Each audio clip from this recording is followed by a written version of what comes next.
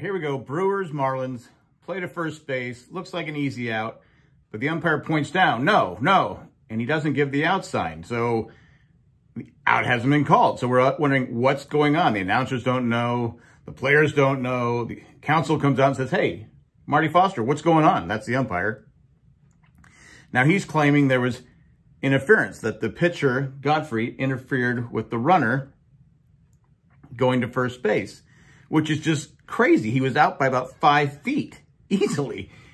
It, it just, you got to wonder what this umpire was thinking. Now, was he upset with, maybe did he have history with Godfrey, the pitcher before, or Vogelbach, the first baseman? Was there something he was upset with and said, okay, I'm going to get even with these guys? I know it's a conspiracy theory, but you never know. But here it is again. Godfrey gets the ball. Diaz is running, flips it to first. Vogelbach finally finds first base. Should be an out. But no, the umpire is still, he just, he just, I don't get it. Here's a closer look. Godfrey never leaves the grass. Never leaves the grass, flips it.